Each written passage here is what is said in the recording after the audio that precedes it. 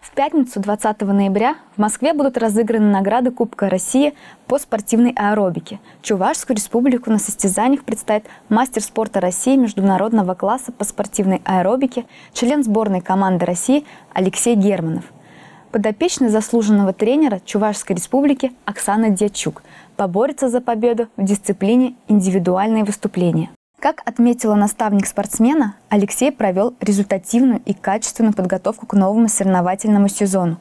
За его плечами три выездных тренировочных сбора. Добавим, что на протяжении 10 лет представитель Чуваши является членом национальной сборной. В его активе множество медалей всероссийских и международных соревнований. Четырехкратный чемпион мира, пятикратный чемпион Европы, победитель и призер всемирных игр – это далеко не весь список наград нашего титулованного спортсмена.